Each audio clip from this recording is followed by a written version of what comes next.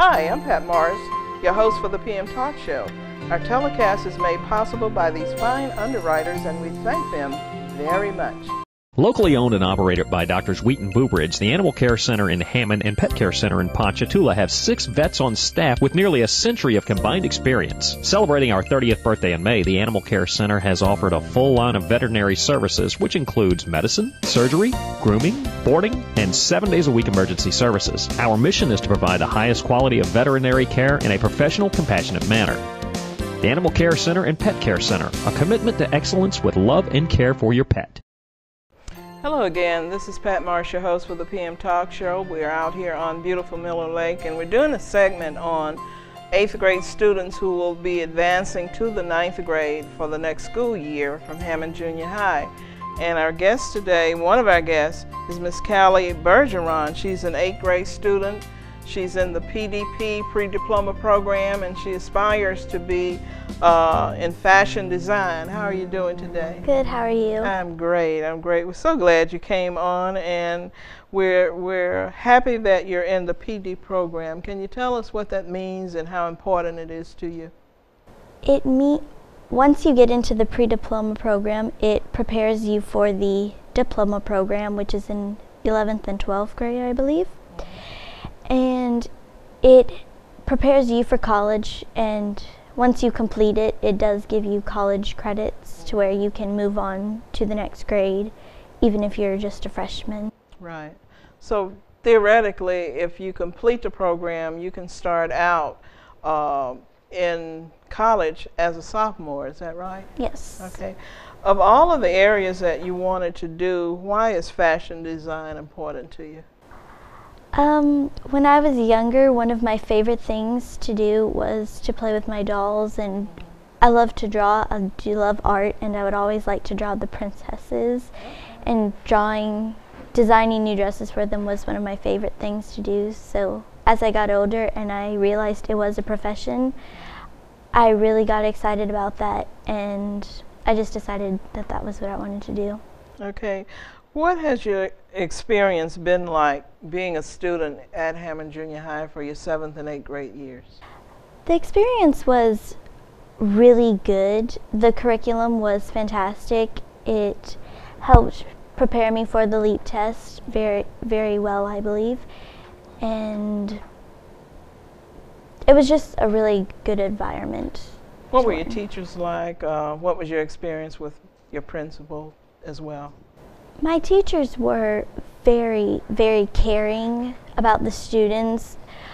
If I just had one little problem and I told the teacher about it, they would be very open and help me to fix this and go above and beyond. And Mr. Perry is a very wonderful principal, in my opinion. He does help us a lot. Okay. This is a question that I asked earlier if you were to take something away from Hammond Junior High into Hammond High, what would that thing be? They had a lot of strategies to help with different aspects of learning, such as writing and math. And I did use the strategies for the LEAP test and in everyday life, so I would take those away, okay. like the cube strategy for math. Okay, if you if you were to become a school teacher, what strategy would you take from the school to give to your students? The writing strategy, the BCB4 strategy. Okay. Um, Explain that to, to our audience. What, um, what is that all about? Well, you read the passage and in the strategy you pull out facts to help to help you write about whatever you want to write. If it's a inform if you're trying to write about something for information, to give out information, you would pull out facts and you write a foldable about these facts and you would say how are they important to you. And that is the start of each new paragraph. Okay. In the field or the profession that you want to go in, how is that strategy going to help you?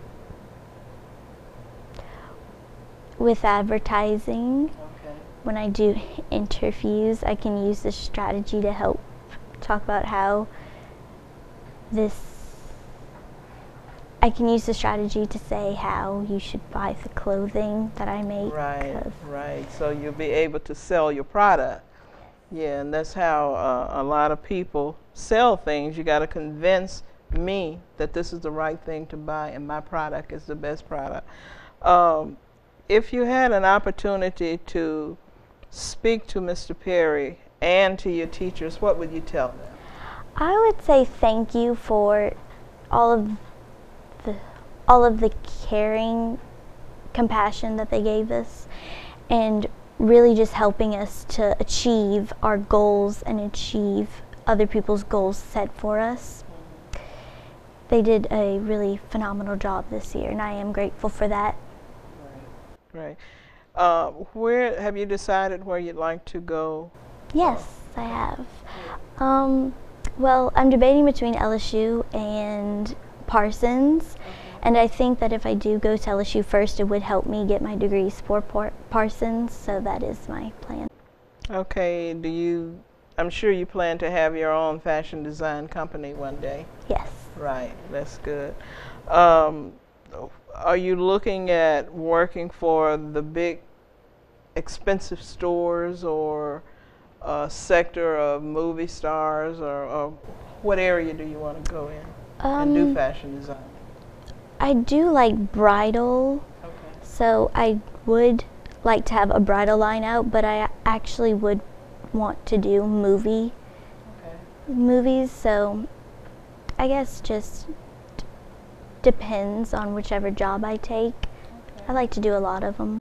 Well, certainly we're going to be following you and looking at uh, you as you move towards reaching your goals, and I'm, I'm sure that you will be w- well received. Uh, you sound like you have a great talent that you've aspired to do because, Yes. you know, playing with the dolls and drawing the pictures and what Mhm. have you. To me, that's an indication that this is something that you have a passion for and you'll do well in it.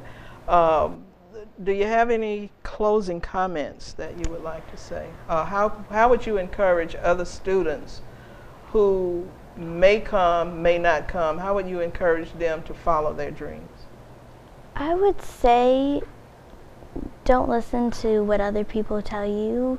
Just follow what you want to do and do you should look at the curriculum of schools to see how they would help you to follow what you want to do. And I think Hammond Junior High could help you with that because they do have a lot of things. But you should really just follow your dreams instead of letting other people tell you what sh- you should do. Right, right. And if you follow your dreams, you'll achieve whatever your goals are. Do you feel that way? Yes. Okay. Well, that's great. Do you have any closing comments that you'd like to make?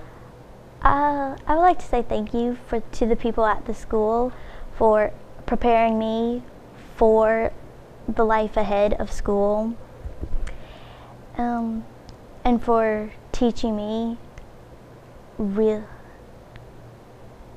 um, for telling me about all of the things that I will need to learn in life and to help prepare me for high school and eventually college. I think there was someone you wanted to do a shout out to. So we're going to say it. Someone, somebody said they wanted to do a shout out. I thought it was you. Um, it's okay. Yes. It's okay. As I was eating this morning, a person came up to me and told me to give them a shout out. I believe his name was Chad, I think. So, So Chad is looking. What do you want to tell him? hello. Okay. Okay, well, we certainly thank you for coming and we encourage you to continue to do as you're doing right now because once you get to the other side of through, you will be happy that you followed that dream and now it has become a reality. So thank you, and we're getting ready to go for a break before our next guest. Shelters are the best places to find a new pet. What a perfectly beautiful little lady. That's where you'll discover healthy, loyal, and loving animals You little rascal. eager to become a part of your family.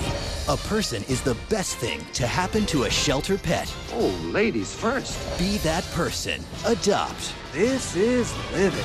Hey, kid. To find out more, visit theshelterpetproject.org. We're back. This is Pat Morris, your host, and we have our second guest who is also an eighth grade student attending Hammond Junior High.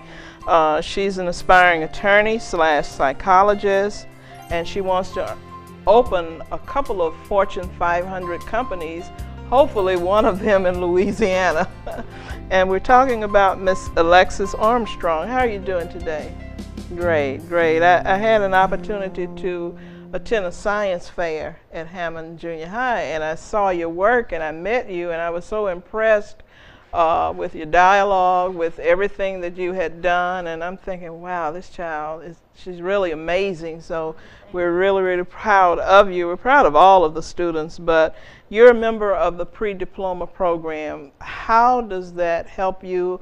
And in talking about that, how is it that, what has your experience been like being a student at Hammond Junior High?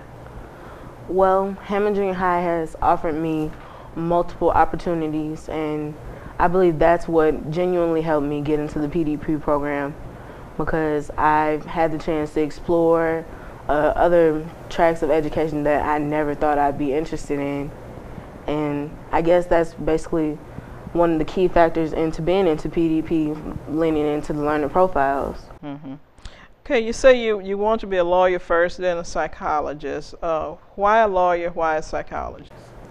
A lawyer, well, basically because that's always what I wanted to be. I mean, I like to talk, I argue, uh, I stand my ground, mm -hmm. and I know what's right and what's wrong. I want to defend somebody and make a change. Okay, and psychologist? I'm not completely right in the head myself, and I believe that I just I just want to work with people. I want to reach out, help someone. Okay, well you got to be right in the head because you're talking about owning a Fortune 500 company, and you got to have some kinds of skills in order to do that because that's a lot of money that you will be dealing with. Why a Fortune 500 company, and why would you be interested in, in having one in Louisiana or in Tangipahoa Parish? Well, not just because of the money, uh, but because this is this is where I was raised. This is where I grew up. I want to stay in contact with home.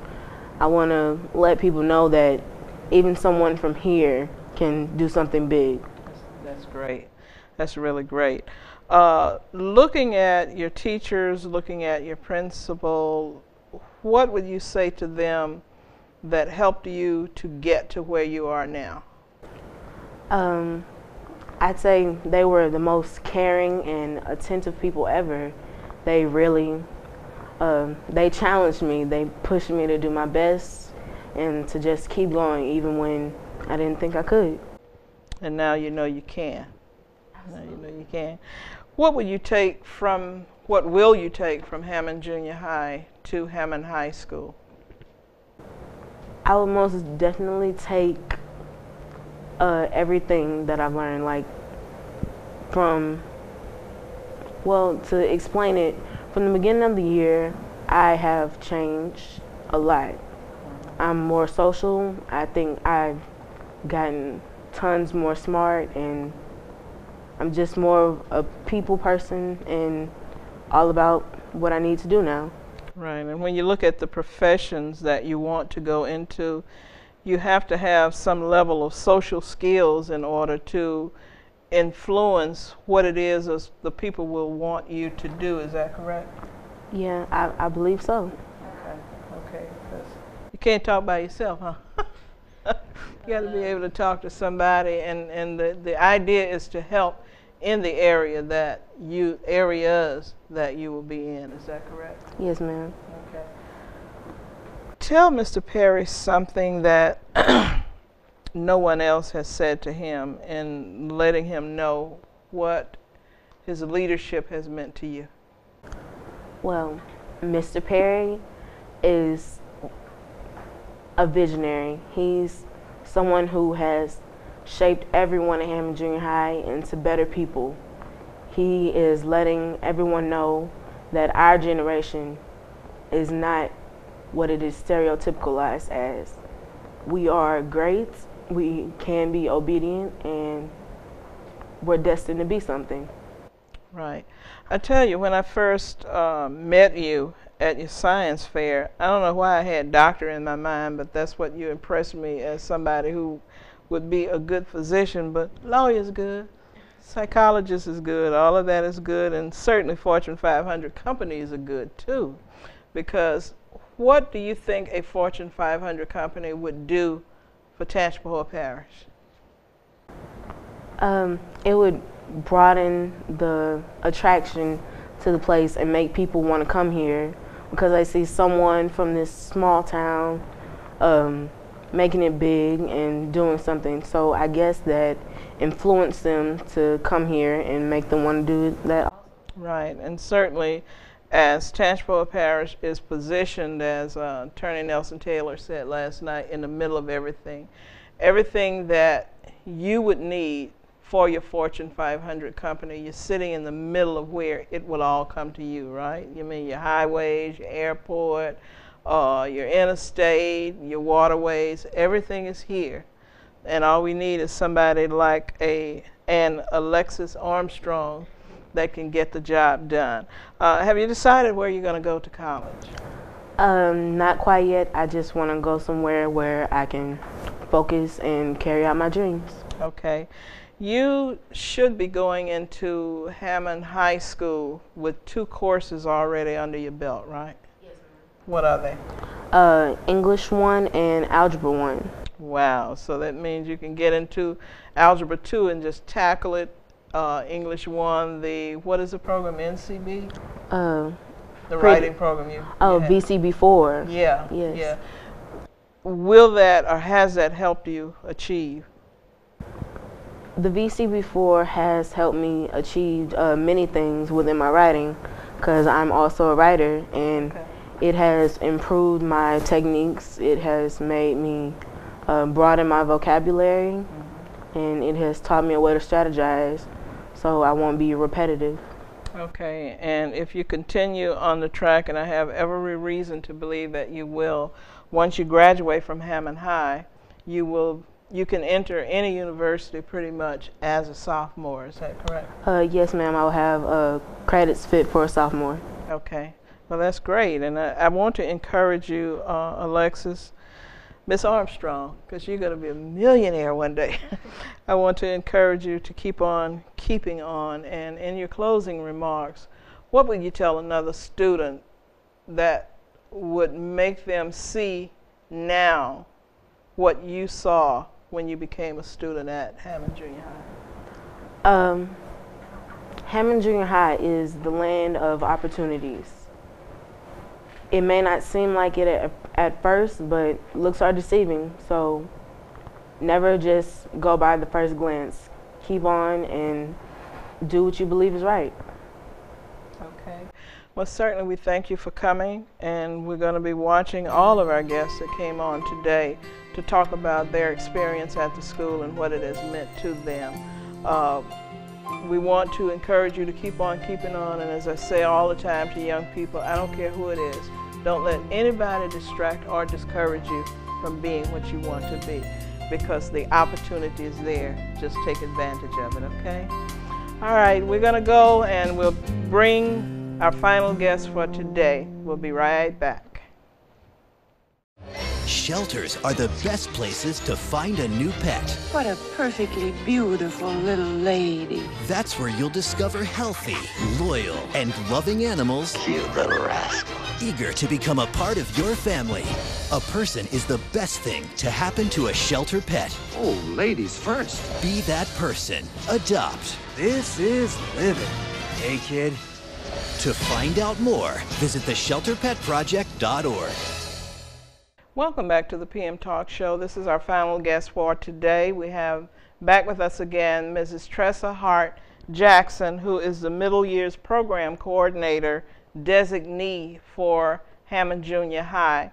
Uh, we're, we're glad you're back with us, Miss Jackson, and we want to talk about a special celebration that's coming up in on April the 27th at the Macedonia Missionary Baptist Church here in Hammond, Reverend Tamarlin Carter is the senior pastor.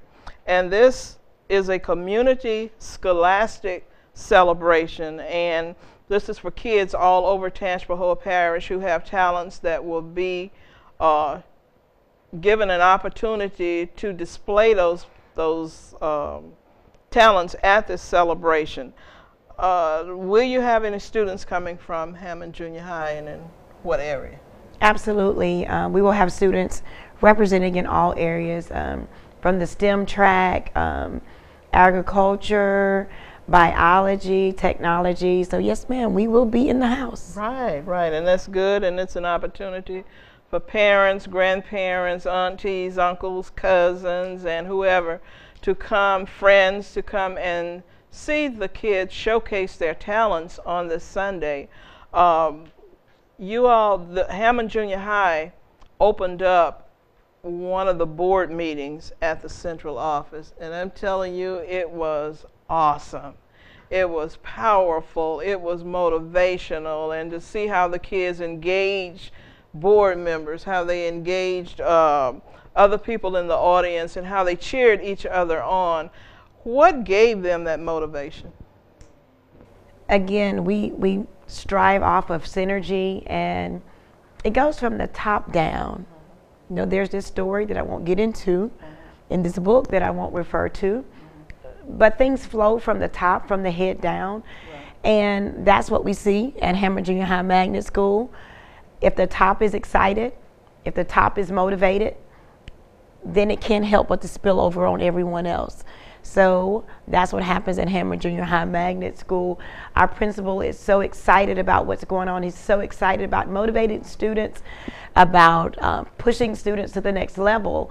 And that's what happens. It spills over onto our faculty and then ultimately to our student body. Right, right. And I agree because one new student that came, uh, I'm hearing a lot of positive things on how other students engage him in activities. Well, come on, let's do this. Come on, let's get together.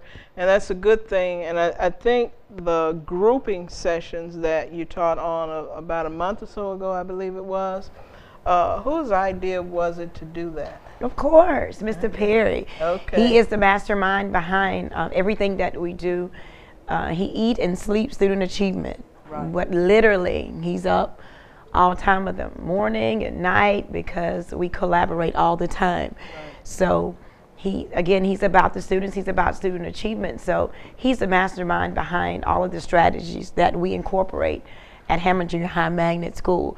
And it is awesome because it does, it forces the students to talk to each other. And in real world in global society, you won't be solo. There will be things, will be people and others that you will have to talk to and be able to communicate with. And again, that's one of our STEM skills as well. Okay. We're employing critical thinkers and problem solvers, and all of that just works well with our um, cooperative group strategy.